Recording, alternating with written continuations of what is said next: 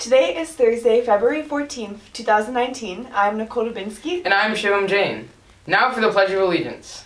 I pledge allegiance to the flag of the United States of America and to the republic for which it stands, one nation, under God, indivisible, with liberty and justice for all. The coordinators of FSA's International Night are looking for volunteers for the event.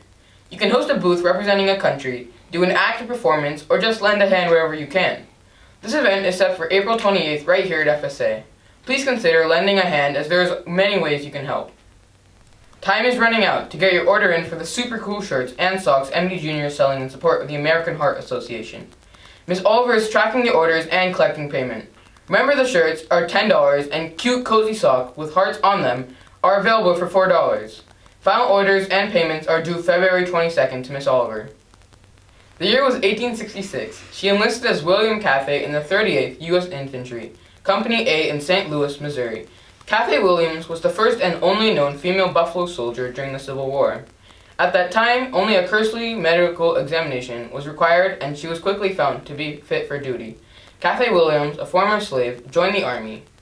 At that time, women were not allowed to so serve as soldiers, so Williams posed as a man, calling herself William Cathay. As we continue our observance of Black History Month and sharing fun facts about this momentous month, we take a look at a couple of outstanding women. Dr. Alexa Irene Canady Davis was the first African American woman in the United States to become a neurosurgeon. Canady Davis received her bachelor's degree from the University of Michigan in 1971 and her MD degree from the College of mm-hmm. Medicine at the University of Michigan in 1975.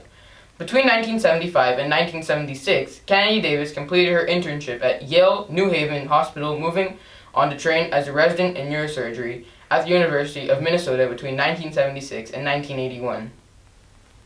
FSA's Athletics is hosting a picture day for student athletes.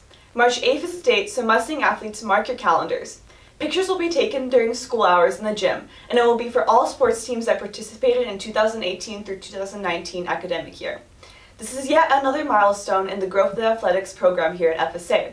For the 2018-19 school year, we saw the emergence of the following sports represented at FSA at both the JV and varsity levels volleyball, basketball, cross country, tennis, golf, track, and soccer. Just in case you forgot to place that order for Mustang gear, the Sideline store has extended the 20% off $75 offer until February 18th.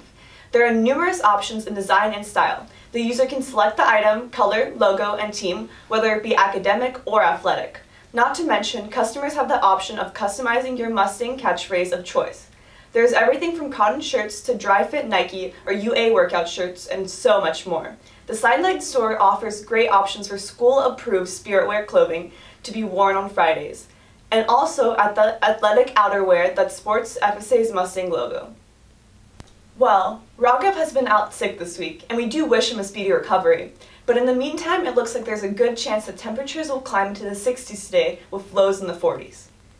Thanks for joining us, and hope you have a great Valentine's Day and a long weekend off from school. We will see you again next Tuesday. I'm Nicole Dubinsky. And I'm Shivam Jain for Mustang News. And remember, Mustangs, we are hashtag stronger together.